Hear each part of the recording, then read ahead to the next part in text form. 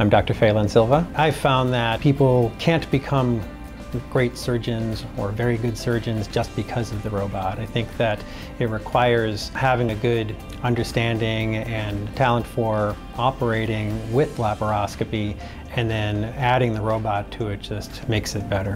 When patients come to Cayuga Medical Center, they can get advanced laparoscopic surgery right here.